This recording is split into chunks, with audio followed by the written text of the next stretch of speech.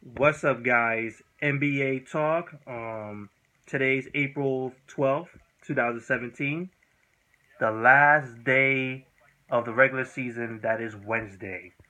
So, it's a wrap up the whole regular season. Uh, we only had like two spots left in the Eastern Conference that hasn't been filled, which was filled today, of course. Um, so, we're going to get through it. We're going to get through some games. And then we're going to be on towards the playoffs. So, first one Chicago Bulls versus the Brooklyn Nets.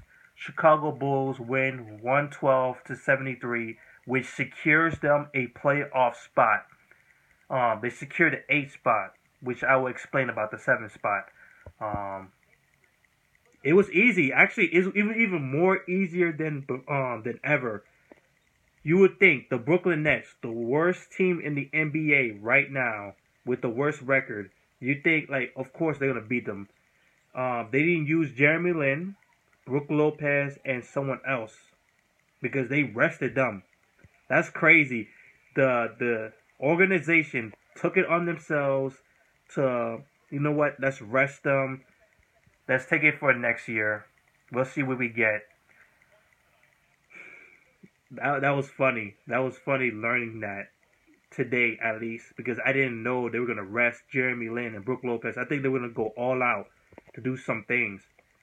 But easy cakewalk for the Chicago Bulls. No real much effort. Only in the third quarter, really. That's pretty much it. So let's get into the stats immediately. Uh, Jimmy Butler with 25 points, 6 rebounds, 4 assists, 4 steals, and 2 block shots. Um, and yeah, he he has been a very good player, especially in the second half of the season after the All Star break. He's become more of a leader. He became more of a point forward and just started distributing the ball everywhere. Like he was doing a fantastic job keeping the Chicago Bulls afloat, even when Dwyane Wade went down, which he returned tonight. That's crazy. And that's the return to him. He played 22 minutes, 7 points, 2 rebounds, 4 assists. He turned the ball over 6 times. Uh, but he's back. That's a good thing because they're going to need him to play. Um, Rondo, 10 points, 6 rebounds, 5 assists. Rob Lopez with 9 points and 8 rebounds. Mirotic with 9 points as well with 9 rebounds two assists, three steals, and a block shot.